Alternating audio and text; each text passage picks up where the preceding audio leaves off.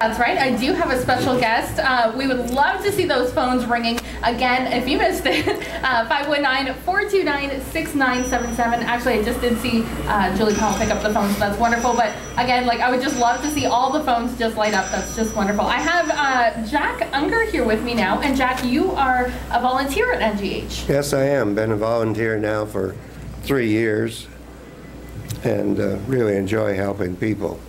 That's why I'm here. And it uh, gets you out of the house. Yeah, it certainly would now. Uh, I understand that al- although you do do so much here to volunteer. Okay. As volunteer, I uh, work the uh, flower garden at the nursing home Okay. and maintain it and plant it. I do uh, escort service. I did physiotherapy. I did uh, bingo on fourth floor. And uh, I keep quite busy. It's wonderful working here and meet the people that uh, you haven't seen in a long time. I would guess so. And uh, now I understand that you also have a personal story here to share with us as well.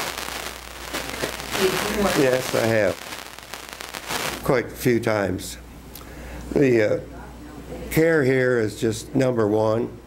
The nurses go over backwards for you as uh, they're overworked because they don't have enough staff. So we volunteers pick up the slack. But the uh, hospital is always immaculate. Uh, service is perfect. Food's good. And that's what matters, right? That's what matters, yeah. Excellent. Well, thank you so much for being here today, Jack. I really do appreciate it.